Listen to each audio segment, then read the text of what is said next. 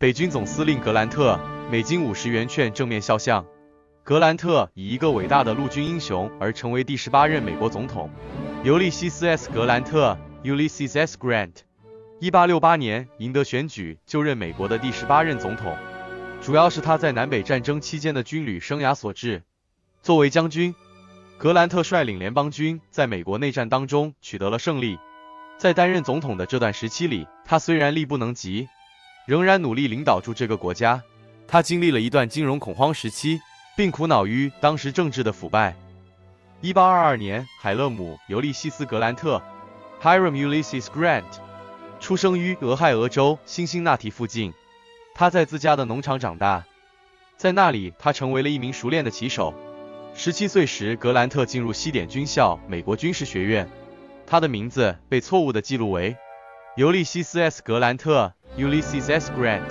他的新姓名缩写使得其他学员戏称他为山姆大叔。格兰特也欣然接受了这个新名字。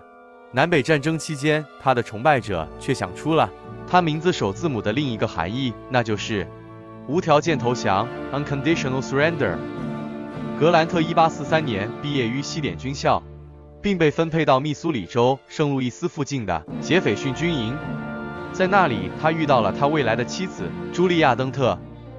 格兰特在军队服役了大约十年，他几乎参与了美墨战争的每一场战役。1854年，他辞职并返回密苏里州。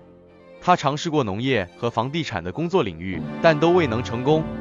1860年，他搬到了伊利诺州的加利纳，在他家族的皮革店工作。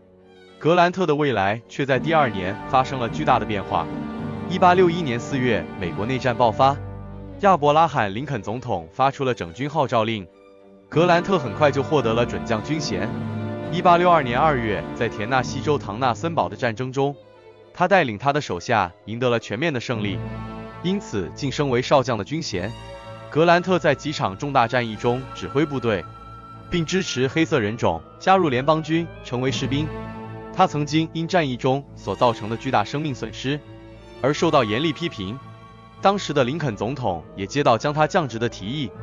但是林肯总统却因爱才而将之留任。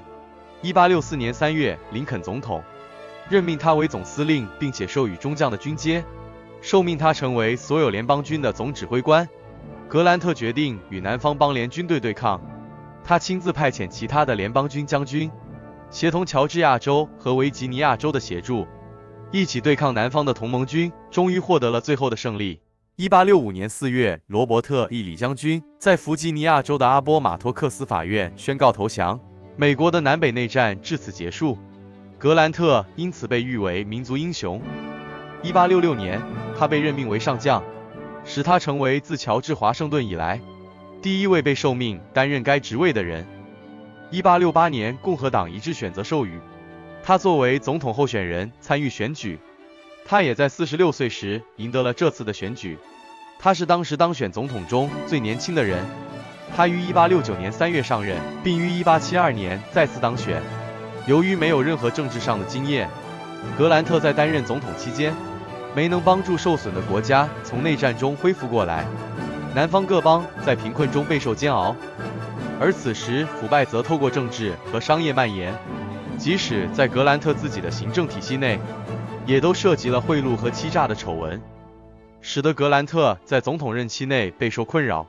在他的第二个任期结束时，也因而使得他的人气大大下降。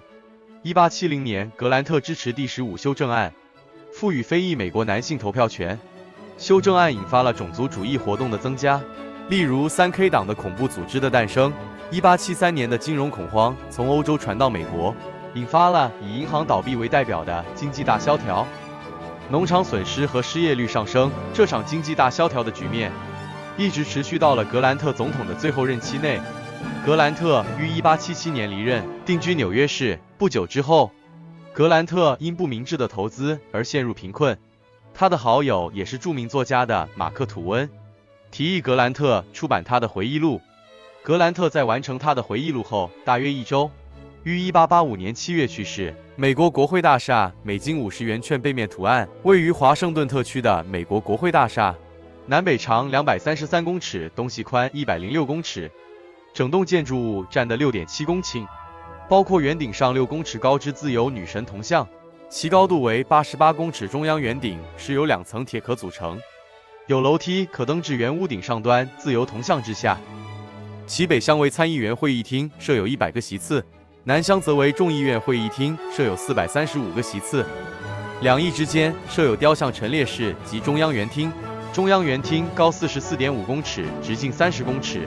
中央圆厅的四壁上装饰著油画与雕像，并陈列着美国名人的雕像，均可供参观。